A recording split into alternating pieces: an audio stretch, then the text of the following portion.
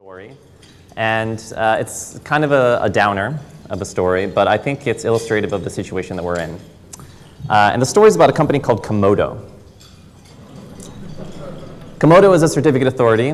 Uh, according to Netcraft, uh, they certify somewhere between a quarter and a fifth of the certificates on the internet. They're the second largest certificate authority in the world. And in March of this year, uh, they got hacked. The attacker was able to make off with uh, a number of certificates uh, for most of the popular webmail providers uh, and places like Skype, uh, uh, Mozilla's add-ons uh, website, things like that. And immediately after the attack, the CEO and founder of Comodo issued a statement. And he said, this attack was extremely sophisticated and critically executed. It was a very well, well orchestrated clinical attack, and the attacker knew exactly what they needed to do and how fast they had to operate. He went on to add that all of the IP addresses involved in the attack were from Iran. So he's implying that there's this cyber undertone to what's happened. But he doesn't leave it at innuendo. He actually spells it out. He says, all of the above leads us to one conclusion only, that this was likely to be a state-driven attack. So he's painting a pretty complete picture for us. Um, this isn't just a hack. Uh, this is war. And who can blame Comodo for uh, you know, not being able to withstand the full assault of an invasion from uh, a foreign country? And so, ironically, it was these statements that really catapulted the story out of the trade press and into the mainstream media. Um, and a number of reporters uh, contacted me in the aftermath of all of this, and they all had similar questions. What does this mean? And I would say, well, it means that you know, this attacker can now intercept secure communication for these websites. Uh, and then they would say, no, no, well, you know, like, how would they use them? How would they use these certificates? Uh, and I would say, well, you know, these commercial solutions from these uh, kind of scary companies like Blue Coat or whatever, you know, that provide intercept services. Um, and then I remember I was talking to one reporter, and, and she was like, no, no, what's the easiest way? What is the most simple way that an attacker could do this without having to buy anything or just, you know, deploy something very simply? And I thought about it, and I said, well, you know, they could just use SSL sniff which is a tool that I wrote for uh, performing man-in-the-middle attacks on SSL connections. Now, Comodo did something kind of unusual here, which is that they published the IP address of the attacker um, on their website as part of this incident report. And I think the reason that they did this is they were kind of, you know, trying to underscore like Iran, Iran, Iran. It was Iran uh, because the IP address happens to be from an IP block registered to Iran. Um, and so, you know, I was thinking about this, uh, you know, conversation I had with this reporter about SSL sniff, and you know, this IP address was on this this website, and I thought, well, I wonder. And so I went and I looked at my web logs uh, for my web server, and sure enough, the morning after the attack on Comodo, the same IP address of the attacker downloaded SSL sniff from my website.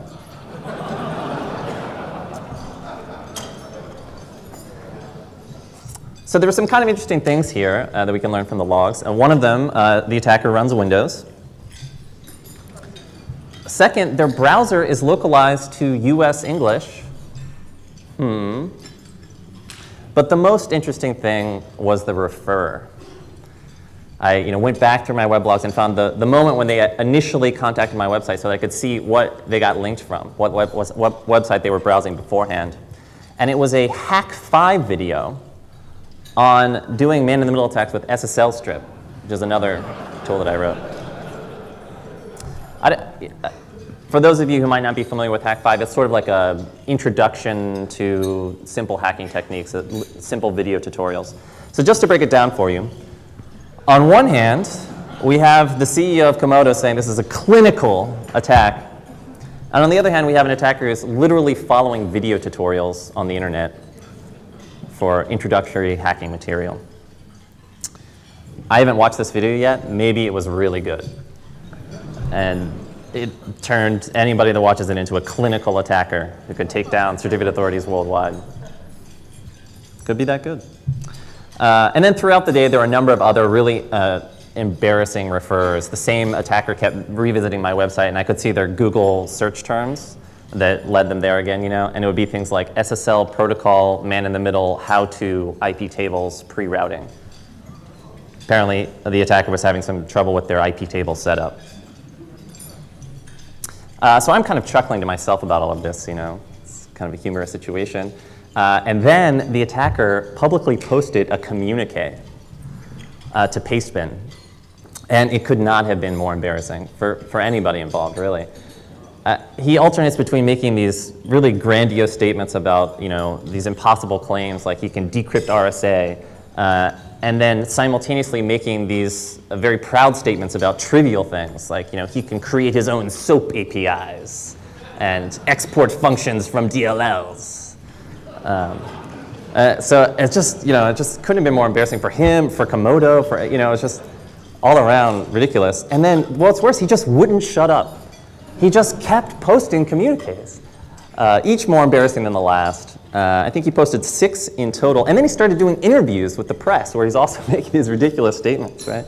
So this, it just couldn't have been worse uh, for, for Comodo, really.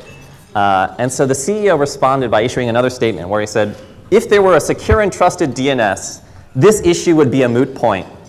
We need a secure and trusted DNS, exclamation point.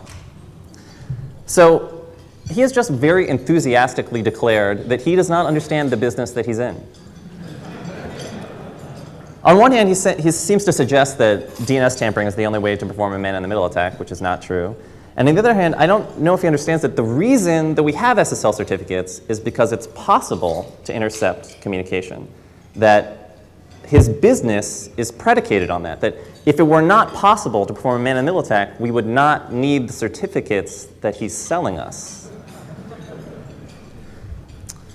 This is the guy that's securing a quarter of the internet. Um, later that month, they were hacked twice more, and then a month later, they were hacked again. So normally I wouldn't spend as much time kind of ragging on a company like Comodo, but I think it's interesting to talk about this uh, because you know, there's this question, right, which is um, what happened to Comodo?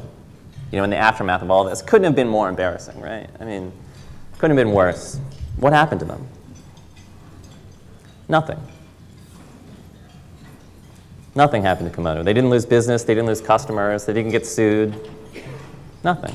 In fact, the only thing that happened to Comodo is that this year at RSA, the CEO was named Entrepreneur of the Year.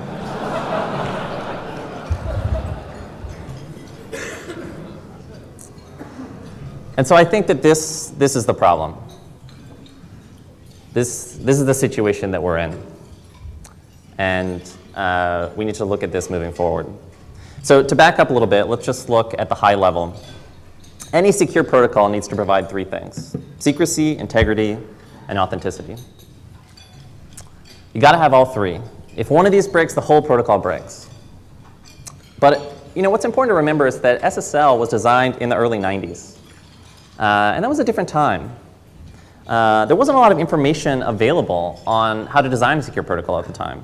Uh, books like Applied Cryptography hadn't yet been published. Um, you know, not that much was being done in academia. I mean, if you wanted to use RSA, the algorithm, you had to license the patent from RSA, the company. It was still patented. Um, you had to pay money just to use RSA uh, in your application. Things like e-commerce didn't exist yet. The whole notion of transmitting your credit card number uh, over the internet was non-existent. Um, there weren't even really web applications at the time. The concept of transmitting some uh, secure credentials of the internet was also a foreign concept, you know. At the same time, the internet was tiny. According to ISC, there were less than 5 million hosts on the entire internet at the time that SSL was designed. Compare that to today, where there's, we're about to run out of publicly facing IP addresses at 4 billion. So at the time that SSL was designed, there were probably less than 10 secure sites that you could imagine. You know, less than 10 sites that you could think of, you would think, well, yeah, I want this to be secure. For some reason, I would want my communication with the site to be encrypted. Compare that to today, where there's over 2 million certificates on the internet, and ideally we'd like all sites to be secure. At the same time, you know, SSL was designed at Netscape in the early 90s uh, during a period of time where there's a lot of intense pressure. Um, on the employees. Uh, you know, this is the same place where a, a, series of 4 a.m. decisions gave us JavaScript at the same time, and we're, and we're still paying for that today. So when you look back at SSL, it's actually, they did a remarkable job, you know, that it's managed to endure this long. Uh, you know, when it comes to secrecy and integrity, they did pretty well. There have been some problems, there's still some problems. Um, but the real issue uh, has always been authenticity. And uh, it's always caused a little bit of friction, and now it's starting to cause really severe problems that I think are only going to continue and get worse. Um, now, the reason authenticity is important is to pre prevent man-in-the-middle attacks. Uh, so normally you'd like to establish a secure connection to, from some client to some server, um, and that's easy enough, but there's always the possibility that your connection was intercepted by a third party and you've just established a secure connection to some the wrong person who then establishes a secure person with the right connection with the right person and then just shuttles data back and forth. And no one is the wiser, but the attacker is able to decrypt all of the traffic in, in, in between. Now the thing to remember is that when SSL was designed, this kind of attack, the man-in-the-middle attack, was entirely theoretical. The network tools didn't exist. Uh, you know, there, you know, no one was performing these attacks. It was the kind of thing that was purely theoretical. Well, you could theoretically, you know, do this thing where you intercept the connection and thing, you know. Uh, and so the solution that they came up with uh, was certificates and certificate authorities. The idea is that every site will generate a certificate that it will present to the client, and the client will know that this is uh, authentic because it is signed by some authority that we've decided to trust for some reason. Now, you know, in kind of preparing for this talk, I, uh, I have this hypothesis, right, that, um, that we've basically outgrown this, the circumstances in which SSL was originally designed. Uh, and so I thought, well, I wonder if that's true. I wonder, you know, what they were thinking when they were designing this. And so I thought, well, I should ask the people that designed it. Uh, so, and then I thought, well, who designed SSL? And I kind of looked, and it was kind of, you know, difficult to figure out what's going on. And eventually, I figured out that SSL was actually designed by a guy at Netscape. whose name was Kipp Hickman. And uh, the last thing that Kipp Hickman posted to the internet was in 1995. So it's sort of off the map. Uh, so I talked to a bunch of people at Mozilla who were back, who were there back in the Netscape days, and eventually I, I managed to track him down. Um, and uh, I basically cold called him.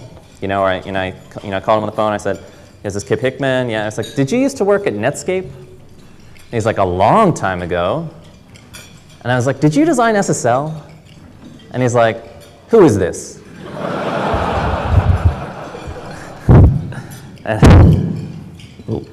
so, uh, you know, I managed to, you know, convince him that, uh, you know, he should continue talking with me. And, uh, but yeah, and then, you know, once I started talking to him, it was great. Uh, he was, he's an amazing guy. And he's like, yeah, SSL, I haven't thought about that in a long time. like, all right, yeah, well, I, you know, I don't know if you know, there's like some problems, you know, with this authenticity thing. He's like, oh, authenticity. Yeah, I was like, oh, that thing, man. He's like, I tell you, we just threw that in at the end. He's like, yeah, you know, I, you know, someone told us about this thing, the man-in-the-middle attack, whatever. You know, really, SSL was designed to prevent passive attacks, and uh, you know, someone told us about it, so we threw this in. And he's like, basically, you know, the whole thing was just a bit of a hand wave. We didn't know if it was going to work. We didn't really know how it was going to work, you know.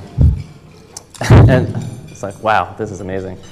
Uh, and uh, you know, and so I said, well, you know, this seems we've been having some problems. You know, some of it is associated with like scaling, you know, scalability. How did you see the scaling over time?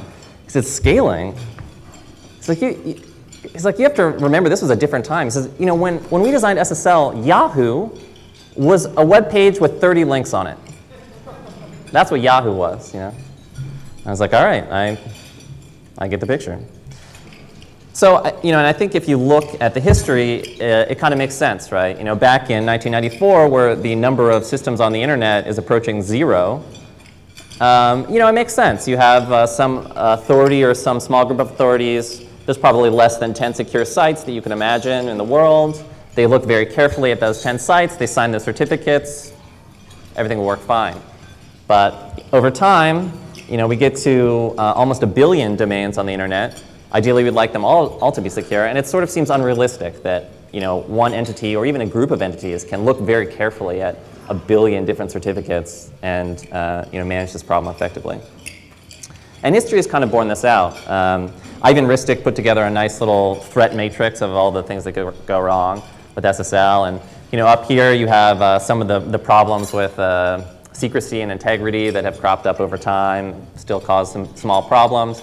Down here you have things like user interaction. These are things like SSL strip, um, you know, still causing problems. But up here with the authenticity piece, this is what has always caused real friction and is now causing real problems.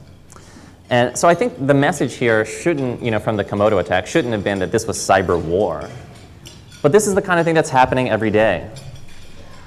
Uh, you know, look at one of the domains the attacker was able to uh, get a certificate for, login.live.com. You should remember that in 2009, Mike Zusman got the same certificate just by asking for it.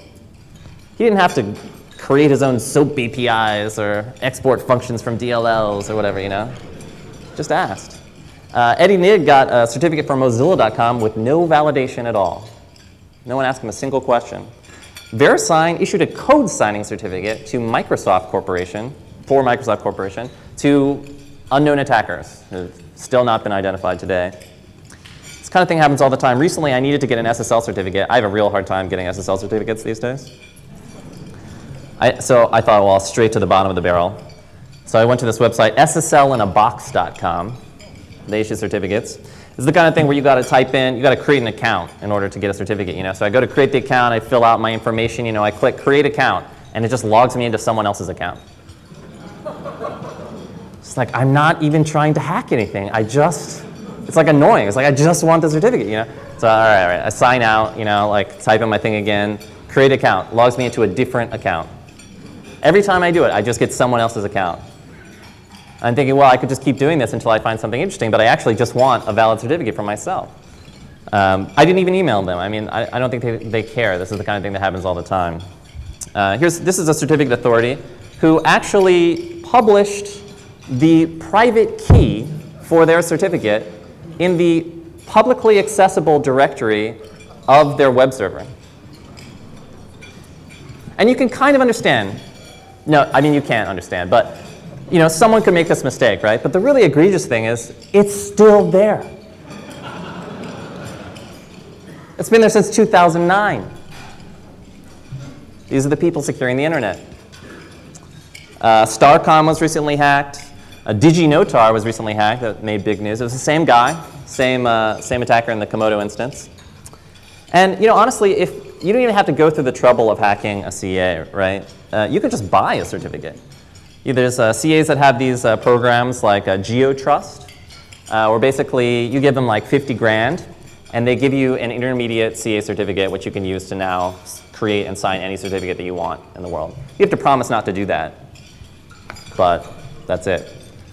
And th this is part of the reason everyone's like, oh, it's Iran, it's the state-sponsored attack and all this thing. It's like, I, part of the reason I don't think that that's true is because Iran probably has 50 grand to just buy a a CA certificate, you know? They don't have to go through the trouble of hacking a CA or anything, right? I, I love the logo in the top right. I feel like it's so iconic. The key to the world, you know? They'll give it to you if you got enough. And what if this was state-sponsored? What if these attacks are state-sponsored? Well, the, the thing to, important thing to remember is that the only reason that Iran would have to hack a CA or buy a CA certificate uh, is because they don't have one of their own. And uh, most countries do, or many countries do. Uh, the EFF uh, has a nice project called the SSL Observatory, where they scan the internet uh, to create a map of all the organizations that are capable of signing certificates in the world. And uh, there's, I put together a map of um, the governments that possess certificates uh, and are capable of intercepting communication. So this is what the map looks like. The countries in red are capable of intercepting secure communication on the internet today they have CAs. I don't know if you can see way out in the center of the Atlantic Ocean, there's a little speck, and that's Bermuda. Bermuda is capable of signing certificates. I actually got an email from these guys recently. They're like, yeah, yeah, I saw the talk, you know, like, that's us, we're Bermuda. And I was like, cool, all right, kill it. Um, so the good news is that I feel like the, the, the general vibe here is sort of shifting. Uh, from the old vibe of this is a total ripoff to the new vibe of this is a total ripoff and mostly worthless. That we're not actually getting anything for our money. Um, so there's been a lot of talk about replacing the authenticity piece of SSL with something else. Uh, but I think that if we're going to do that, we first need to very clearly understand the problem so that we don't just end up making the same mistakes all over again. So what is the problem? Well, uh, there's been a number of uh, you know, takes on this, right? Um, the EFF uh, put together this SSL observatory data where they have, um, they put together a graph of all of the organizations on the internet that are capable of signing certificates. It's a lot of organizations. Uh, and so I, in fact, it's 650 different organizations. Uh, and so I think, you know, kind of a simplistic response to this has just been to say, there's too many CAs. That's the problem. There's too many certificate authorities. We just need fewer certificate authorities, you know? But I, I don't know if that resonates with me, you know? Remember when there was only one? And they could do and charge whatever they wanted? And if part of the problem is that it's a scaling issue, that we've gone from 20 secure sites to 2 million secure sites, and that you know, these organizations just haven't been able to keep up with that. If anything, it seems like we would want more, not less, not fewer.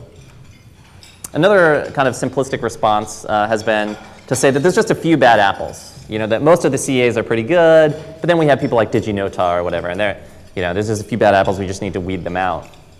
But I think if you look closely here, there's really nobody that doesn't have dirt on their hands. I don't, there's really nobody that I feel like we can trust absolutely. Even VeriSign, when they were the only game in town, at the same time that they were selling certificates to secure our communication, they had a section of their business managing so-called lawful intercept services for governments. So the same organization that we were trusting to secure our communication had a section of their business that was about intercepting communication. So I, I, think if you look closely, there's really nobody here that does not have dirt on their hands. Another thing that people suggest is it's a scoping issue, that the problem is that everybody's in the same scope, uh, that all the CAs are in just one big scope, and that if we could just separate the scopes, uh, that everything would be fine. You know, for instance, the Department of Homeland Security and China are both uh, capable of signing certificates, and they're in the same scope. And if we could just separate the scopes so that you know the DHS could only sign certificates for the United States, and China could only sign certificates for the state of China, then everything would be fine. Uh, I feel like this is kind of a low bar. Uh, I think that there are plenty of people in China that might not trust the state of China to certify their communication, just as I feel like there are plenty of people in the United States, uh, and I'm probably one of them, that don't trust the Department of Homeland Security to secure my communication. So I think in trying to define the problem so that we can move forward, I think it's useful to look back at this question of what happened to Comodo. Well, nothing. Nothing happened to Comodo, But the question is why? You know, what could we have done? If I decide that I don't trust Comodo, and I don't, the very best thing I can do is remove Comodo from my trust database, remove them from my list of trusted authorities. The problem is that if I do that, somewhere between a quarter and a fifth of the internet disappears just stops working, breaks completely, because those certificates are no longer considered valid. Now, I could take an ideological stance, just never visit those websites again, uh, but in reality, that's not a very appropriate response. And the, the, the, interesting thing to remember here is that this is as true for browser vendors as it, as it is for you or me. You know, a browser vendor can't just remove Comodo from their trust database because they're going to be breaking a core of the internet for all of their users. And that's, that's a really hard decision to make.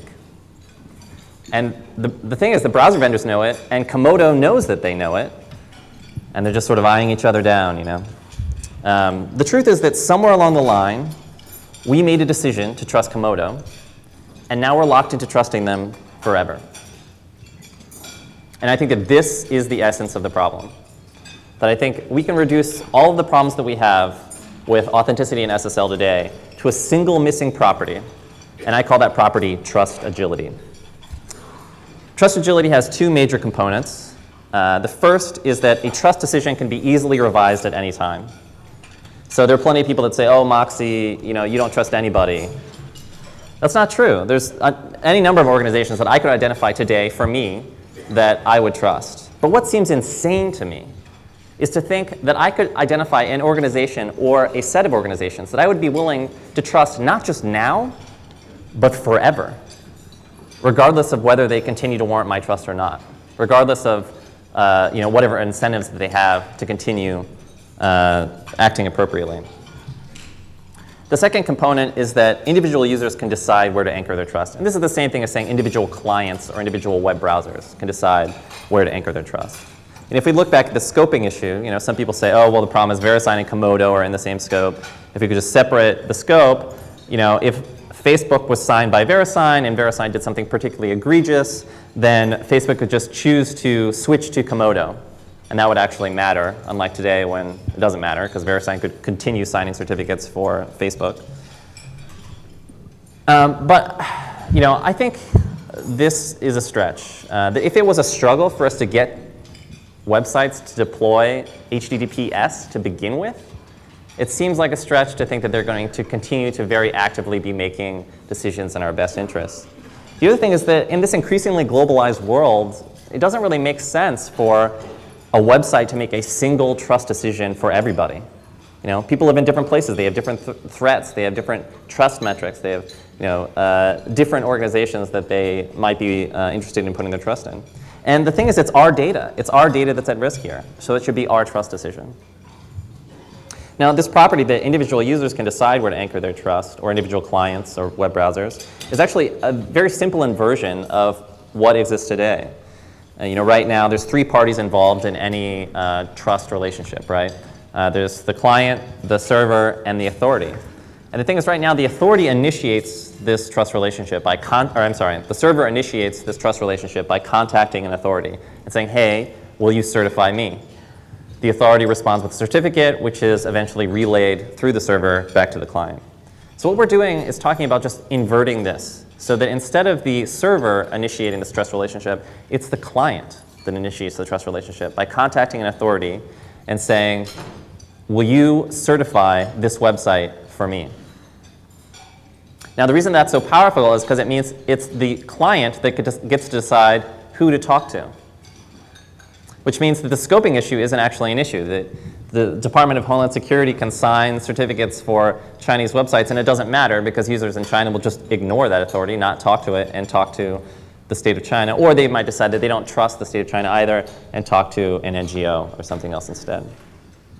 Now I think that these uh, two components of this property, trust, agility, are essential uh, for whatever we move forward with uh, in terms of replacing authenticity in SSL. Now, I want to take a, a, few minutes to talk about DNSSEC because there's been a lot of talk about using DNSSEC to, um, to leverage a, a, replacement for authenticity lately. Uh, the basic idea is that you take your SSL certificate and you just shove it in your DNS record. Uh, it's actually a lot more complicated than that. There's, I think, 20 different RFCs involved, but um, that's the, the, simple gist of it. Uh, that way, when a client does a DNS lookup for the server that wants to contact, wants to you know, make an SSL connection to paypal.com, so it does a DNS lookup for paypal.com, and it gets back the IP address that it needs to connect with, and it also gets back the server's SSL certificate inside the DNS response. And uh, we, we know that we can trust this response because it's signed using DNSSEC. Now, when the client actually makes the connection to paypal.com, it gets a certificate and it just compares it to what it saw on the DNS record. And if they're the same, then everything's good. Otherwise, everything's bad. Um, now, there's a really immediately visceral appeal. Uh, I, think people experience this visceral appeal to, to this kind of system when they first see it. Uh, and I think it's because people mentally associate DNS with the word distributed. And that sounds pretty good right now. In fact, it sounds like exactly what we want. After years of suffering under the centralized yoke of certificate authorities, uh, it would be a pleasure if we could just wipe them off the page and replace them with a distributed system instead.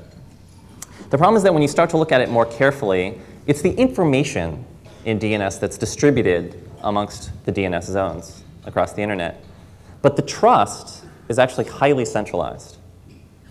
And this is actually identical to the way that the CA system works today. The information, the actual SSL certificates, are distributed across the internet on the web servers of the various websites that you want to connect to. And the trust is extremely uh, centralized in the certificate authorities themselves. So, you know, then you think, well, uh, okay, so it's not actually distributed in the way that we want. Uh, maybe there's you know, different people that we would be able to trust that are for some reason better than the people that we have to trust now. Uh, or maybe there's some trust agility in there somewhere. Um, so if we start to look at the trust requirements, there are actually three uh, classes of people that we have to trust um, absolutely under DNSSEC. And the first is the registrars. Um, now, registrars, you know, if you think CAs are sketchy, I think registrars just take it up a notch. You know, they're, they're just a little, little sketchy. You know, personally, I think it should be laughable that the current first step in deploying DNSSEC is to create an account with GoDaddy. I think that should be laughable. Um, the next class of people we have to trust are the TLDs. These are the companies that manage the TLDs. Uh, and uh, for .com and .net, uh, the company that manages uh, those zones is VeriSign. Same player, same game. We have to trust them with all our, all our secure communication again. Uh, for other TLDs, uh, for other GTLDs like .org and .edu, um, you know, most people probably don't even know what organizations are responsible for managing these TLDs. Um, certainly, I don't think that they would be come to the top of your, your list of like organizations that you would want to trust in the world. You know, take a moment to research the, the companies that manage uh, these TLDs. Look at the people on the, the board of directors. Look at the people managing operations and ask yourself, are these the people that you want to trust with all of your secure communication? Then there's the CCTLDs. Does everybody uh, with HIP domains like .io, .cc, and .ly trust the corresponding governments uh, behind these TLDs? Uh, what about TLDs like .ir and .cn? Should people that live uh, in these regions have to trust all of their local secure communication to these governments? Um, the EFF's SSL observatory data says that these are the countries in the world that are currently capable of intercepting secure communication um, without breaking a sweat uh, under the CA system. Uh, with DNSSEC, it would look like this. And if the recent domain seizures are any indication of the future, um, these TLDs are, are probably suspect. Uh, and then the, the, the, final class of uh, people that we need to trust uh, under DNSSEC is the root. And in, the, in, this case, that's ICANN. Now, I don't have any particular beef with ICANN, um, but as far as I know, while they have uh, made a, a, lot of efforts to, to be sort of global, a global organization and solicit global involvement, as far as I know, legally, they're a California 501c3 nonprofit which as far as I know uh, means that they are subject to US laws. And uh, if any of the recent uh, legislation is any indication of the future, that could be a problem. Uh, you know, these laws like COICA, Protect IP, or whatever. Uh, to me, the interesting thing here isn't whether these individual laws pass or not, although it's not looking good uh, these days, um, but that, that they're trying. And even if they don't succeed with these laws, maybe they will in the future. And I think that's something to be concerned about. Um, so the worst part here is that all of these organizations actually provide reduced trust agility uh, to the uh, existing CA system. Right now, as unrealistic as it might be, I could decide to remove VeriSign from my trust database. It would break a lot of shit, but I could at least do it, you know? Um, uh, but there's nothing that I can do to change the fact that VeriSign controls the .com and .net TLD. There's no way to remove them from that trust relationship at all. Which means that if we sign up to trust these people now, we're signing up to trust them forever, regardless of whether they continue to warrant our trust or not. There's no way to untrust them. And, you know, a lot of these uh, organizations have already proven that uh, they should not warrant our trust. So I want to uh, shift gears a little bit and talk about uh, solutions for the future that I'm a little bit more inspired by. Uh, one project uh, is called Perspectives. Uh, Perspectives was originally a paper that was published by Dan Wendlandt, David Andersen, and Adrian Perrig at Carnegie Mellon University. Uh, and it was a paper basically on using multipath probing for uh, authenticity. And the basic idea is to use network perspective. the premise is that you've got a client, you want to connect to a server, you get back a certificate from the server. And now the big question is the certificate valid or not? What do you do? Um, what you do is you contact some other authority on the internet and you say, hey, what certificate do you see for this website? The authority makes just a normal SSL connection to the same website, gets a certificate back, and responds, uh, sends that certificate back to the client. Now on the client side, you compare the two certificates you saw, and if they're the same, you know, you assume that uh, this, is, this is the valid certificate. Uh, we call these authorities notaries, and you don't have to talk to one notary, you can talk to any number of notaries. And they are distributed all across the internet uh, with different network paths to the same destination. Uh, you're essentially building a constellation of trust. Now, this idea of using network perspective is actually not new. It's actually how things work right now. Um, if you, in the CA system, if you're a site operator and you want to get a certificate for your website, you contact a certificate authority like VeriSign, and you say, hey, I would like an SSL certificate for my website. Could you make one for me? And what do they do?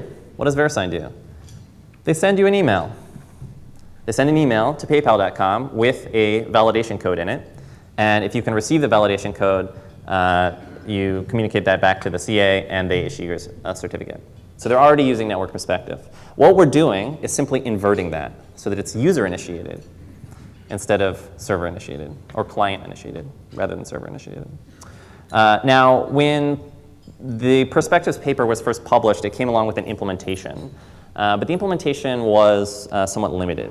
Uh, it was originally designed for self-signed certificates, uh, and uh, so it had some problems. the first problem with perspectives was completeness. Uh, that Perspectives, uh, the implementation, only worked for the initial connection that your web browser made to a web server. So it didn't work for any of the background content, any of the CSS, any of the JavaScript, any of that stuff. So it wasn't possible to eliminate CAs entirely. It was, you were only circumventing CAs for this first initial connection that you made. Uh, the second problem is privacy. Uh, if every time you connect to a web server, you get a certificate back, you contact some notary and you say, hey, what do you see for this website? Now you're essentially leaking your entire browsing history to one or a set of third parties, which seems unfortunate. Uh, and the final problem was responsiveness. Uh, Perspectives has this problem of what's called notary lag, uh, where the way it works is when you get a certificate, you contact a notary and you say, hey, what certificate do you see for this website? Now, the notary is going to cache the certificate that it gets so that it doesn't have to continually make you know, a connection every time someone contacts it. And then it's up to the notary to continue polling the same website uh, in case the website certificate ever changes. Um, but the problem is that if you talk to the notary in between the poll interval after the certificate is changed, then you're going to get a certificate error. And so it's this kind of weird problem.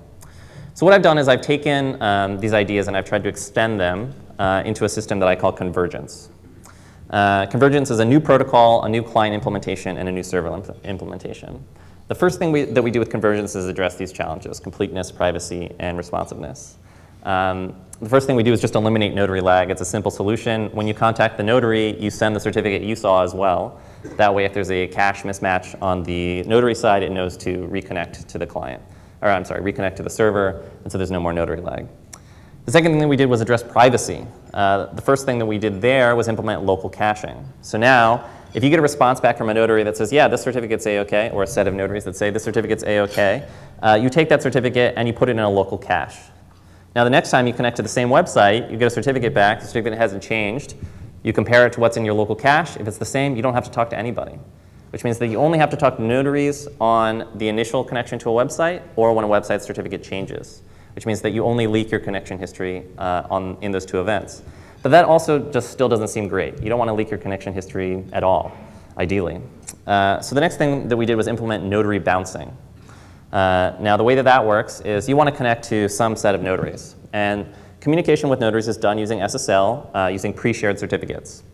Now, uh, you want to connect to a notary, so the first thing you do is select uh, one notary out of your list and you uh, make it the bounce notary. Then you make a connection to that notary, and basically set up a standard HTTP proxy to connect through the notary to the other ones. And you speak SSL directly to all of the other notaries. So the bounce notary knows who you are, but doesn't know what you're asking about because all that, all that communication is protected by SSL. The destination notaries know what you're asking about, but they don't know who you are uh, because all of the communication is coming from the bounce notary. So basically, uh, two notaries would have to collude in order to reveal your browsing history, which I feel like is a much higher and acceptable bar. Now, uh, our initial conver convergence implementation is a Firefox add-on.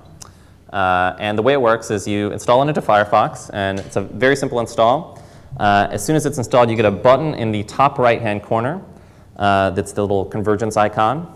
And if you click the button, you are off the CA system entirely.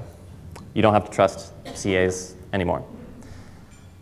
The way it works is then the entire user experience is identical. Uh, let's say you go to a website. Now, normally, uh, if you go to a website uh, and you look at the, um, the favicon, uh, when you mouse over the favicon, uh, you get a little tooltip saying uh, what authority validated this communication. The only difference, everything looks the same, is that in convergence, we've taken the authority out of the, out of the picture, and everything is authenticated by convergence instead. The server-side implementation is designed to be extensible for the future. Convergence is not dependent on this network perspective strategy. Uh, instead, we have a REST API, and um, the default implementation is for uh, the notary to make uh, these network perspective uh, connections to the destination server. But really, the notary can do whatever it wants. And we have a few uh, notary backends that are options when you run a notary. Uh, one is DNSSEC. If you like DNSSEC for some reason, the notary can do DNSSEC. Uh, the other is CA signatures. If you're crazy and you want to keep using CA signatures, your notary can validate certificates using CA signatures. Uh, you could do weird things like use a notary as a front end to the SSL Observatory, that's EFF, the EFF project, uh, or as a front end to the Google Certificate Catalog. Uh, you could even have you know, a set of notaries configured in your client, each one doing a different thing. One's network perspective, another's DNSSEC, another's CA signatures, another's the SSL Observatory. Uh, and now all of these things uh, have to validate correctly. Um, there's a uh, collective trust meter uh, on the client side that you can set anywhere from minority uh, all the way up to consensus and the default is majority or consensus. Uh, so uh, the nice thing about that is, you know, in the CA system, you have 650 different organizations. If any one of them is bad, you're out of luck. Uh, a single, single compromise is enough to kill you. But in convergence, the more notaries you have, the better, because all of them would have to start acting appropriately uh, in order to compromise your communication. And if for some reason you decide, oh, I don't, I don't like you know, what one of these notaries is doing, you have perfect trust agility. You just remove the notary. Nothing changes, nothing breaks. You know, there's no certificates to get reissued or re-signed of the internet. Court of the internet doesn't disappear. We don't have to issue browser patches, none of this stuff. Uh, and you might decide, well, I'm going to replace it with a different notary. Everything continues working fine. The other nice thing about the system is that the servers do nothing we don't have to migrate the entire internet to a different thing like DNSSEC or, or whatever it is. The servers just continue to operate exactly as they, they want. They can continue to get certificates signed by CAs if they wish, it doesn't matter. But what this also means is that if we implement convergence in the four major browsers, we're done. That's the end of the CA system entirely. We don't have to migrate the internet to anything else. We make these four changes and bam, that entire industry is out of business and good riddance. Yeah. Thanks.